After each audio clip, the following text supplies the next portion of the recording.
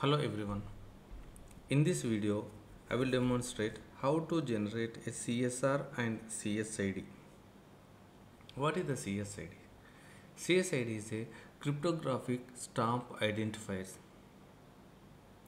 It is required for integration with the electronic invoicing portal that is managed by the Saudi Arabia Tax Authority. Also, submission of electronic invoices. CSID links the EGS unit. Also, it will confirm the seller's identity. Also, it will be used to call the compliance APIs and performing compliance checks. You have to add the compliance CSID as a request header when calling the required APIs. How to generate the CSID?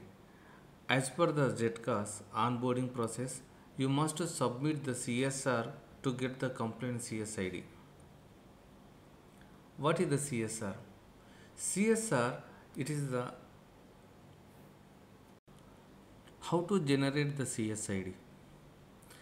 As per the ZATCA's onboarding process, you must submit the CSR to the Fatoora portal to get the complaint CSID.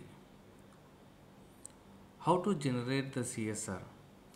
CSR it stands for Certificate Signing Request. It includes information such as common name, organization name, VAT number, country, etc.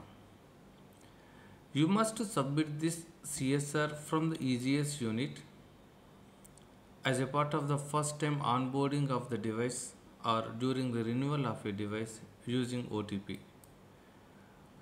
The CSR is an encoded text and submit to the e-invoicing platform.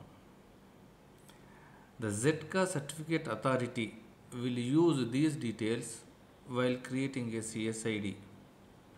It also contains the public key that will be included in your CSID and is signed with the corresponding private key.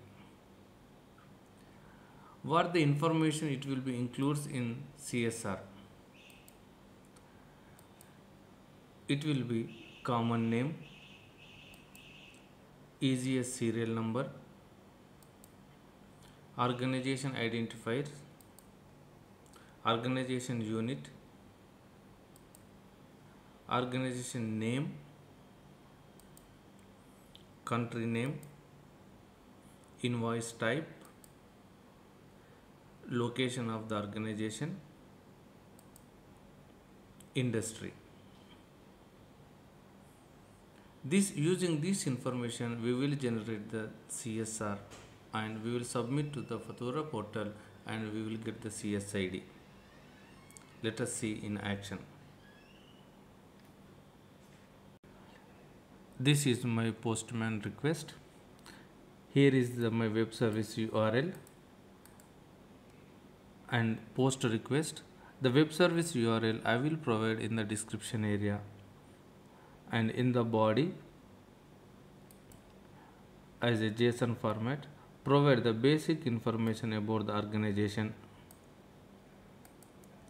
If you click that submit or send button, you will get the response.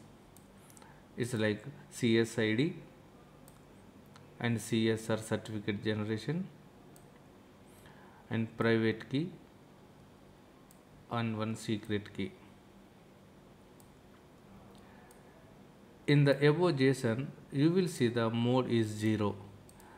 0 stands for developer mode certificate, 1 stands for simulation mode certificate, 2 stands for production mode certificate. And how to use in C Sharp I will explain you. This is my Visual Studio C Sharp application. I am using Visual Studio 2022 and I have created a user controller. And this is the basic information I have provided. And this is my CSID generate button.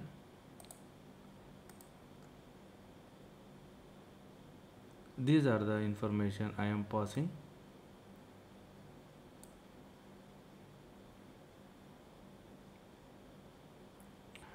I'm going to submit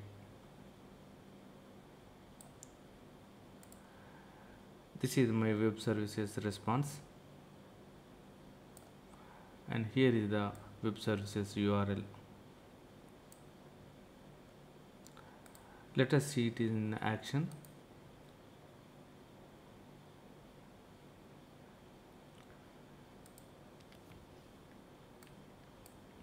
Here now I can choose the developer mode or simulation or production and OTP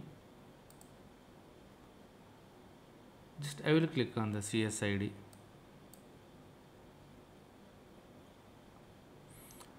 this is my CSR certificate for the developer mode and it is a primary private key.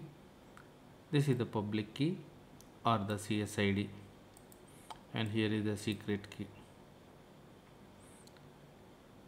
That's all